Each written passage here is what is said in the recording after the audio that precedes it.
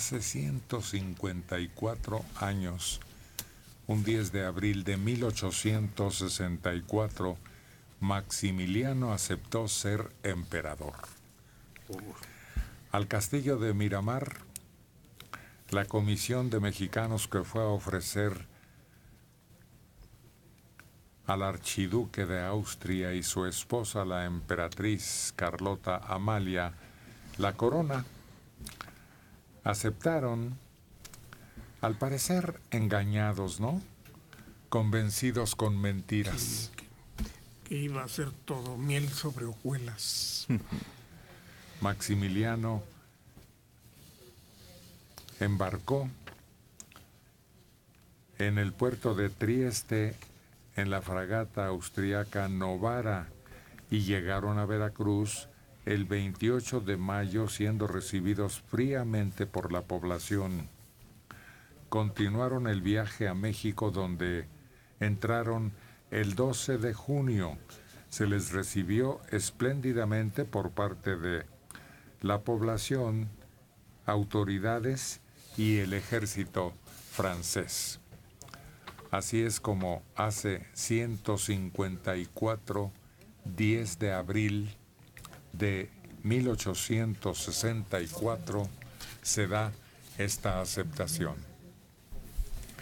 Con final muy trágico, muy doloroso y sobre todo la locura final que remata el episodio histórico en la mismísima sede del Vaticano. Sí, y finalmente todo el mundo reconoce que, Maximiliano era una persona bien intencionada, de una ideología avanzada para su época, pero que pues eh, las circunstancias lo llevaron a cometer tropelías primero y después a, pues a un acto que solamente podía ser eh, resuelto mediante su ejecución. Y fue un escándalo internacional en donde tanto como protestas, adhesiones al hecho mismo. Entonces Juárez lo tenía que haber matado. No lo podía haber perdonado, encarcelado. yo creo que él se vio muy presionado en ambos aspectos. Pero él decía, es que esto no puede volver a ocurrir.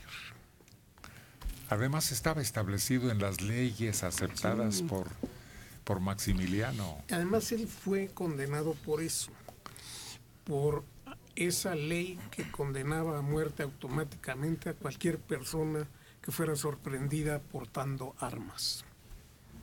Y fue una falta de cálculo de Maximiliano y de los que lo trajeron, porque no se dieron cuenta que era un individuo de avanzada él expide unas leyes que se llaman las siete leyes liberales de Maximiliano, eran todavía más progresistas que las de Juárez. Entonces eso causó un gran malestar entre los opositores de Juárez que pensaron que Maximiliano tenía la misma ideología que ellos por ser noble y no.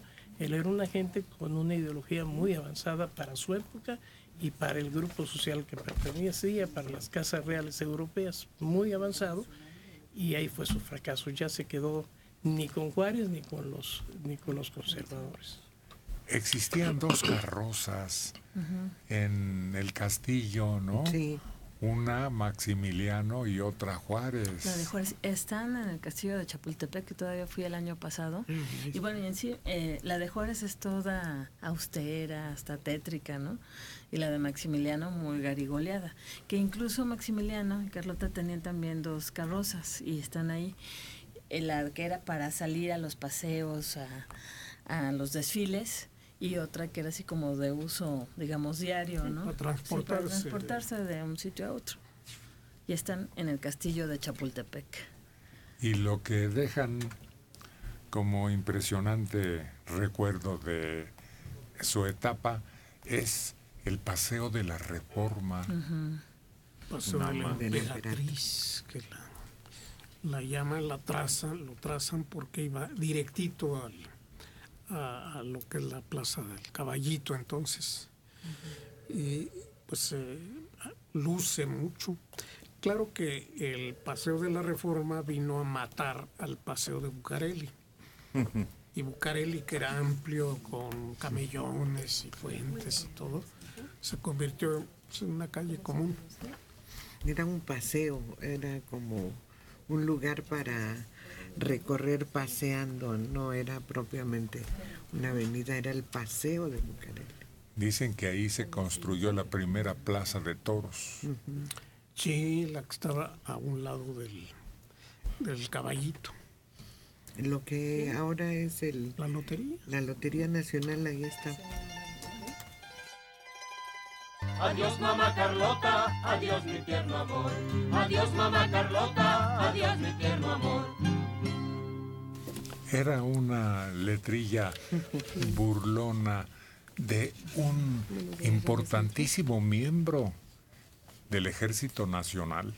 Bueno, Vicente Riva Palacio es el autor de... Así como al principio en los homenajes de recepción interpretaban en los teatros de gala aquello de la blanca paloma. Si a tu ventana llega una paloma. Es una habanera que dicen que era la favorita de doña Carlotita. Que dejó una herencia gastronómica impresionante en México. ¿Por qué tú? Porque le interesaba todo lo que era la cultura mexicana. Eran muy inteligentes, estudiosos y curiosos. Y entonces las llamaba a todas las cocineras y a ver qué hacen y cómo lo hacen y si le ponemos y si le mezclamos. Y hay pláticas que da Yuri de Gortari sobre la cocina mexicana y mucha de la herencia de la cocina mexicana que hoy seguimos diciendo, ay, como lo más encumbrado es de ella. Son platillos que ella dejó. Pues él se vestía con el atuendo tradicional mexicano y se sentía orgulloso. Charro. Hay una foto de él en la- los llanos de lo que ahora es Polanco jugando cricket. sí, altísimo, sí. Dice este reporte de producción, la paloma está asociada a historias felices y desgraciadas. Una de estas últimas se refiere al emperador Maximiliano. La paloma gustaba mucho a su mujer, la emperatriz Carlota, desde que la había conocido, interpretado por Concha Méndez, una tonadillera. La canción gustó también al emperador. La música, impulsaron la música. eh, bueno, todas las artes florecieron en ese breve instante.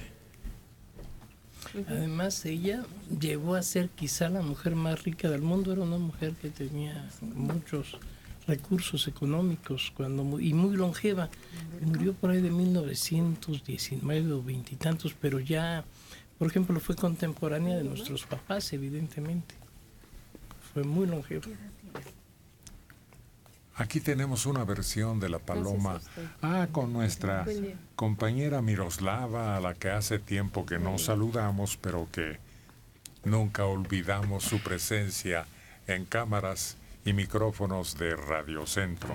Oigamos. Cochinita, ¿a dónde vivo yo? Ay, chinita, que sí. Ay, que dame tu amor. Que vente conmigo, chinita. ¿A dónde vivo?